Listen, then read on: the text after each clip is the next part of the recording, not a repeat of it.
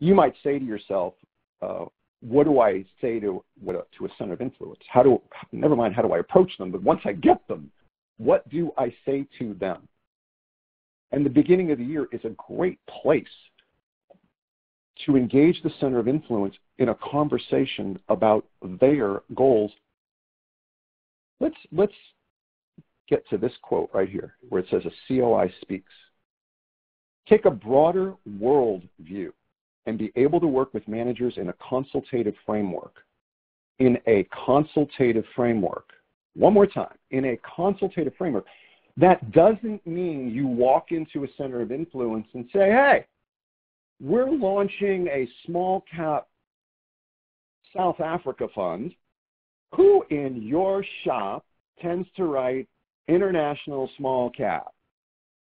That is not a consultative framework be able to discuss products in the context of the manager and the broker dealer's greater sales and marketing objectives.